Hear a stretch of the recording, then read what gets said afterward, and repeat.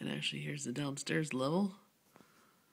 And there's birds on the staircase up there. There's a woodpecker trying to pick at the the wood.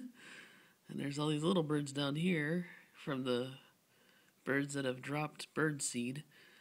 Actually, it's really cool because when I'm not standing here, there's more. There's like blue jays and stuff, and a couple squirrels hanging around.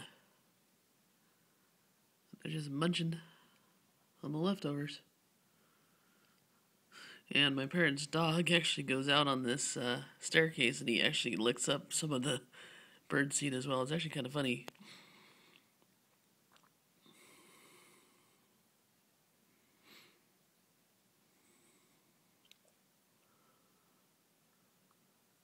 Oh, everybody's getting fed.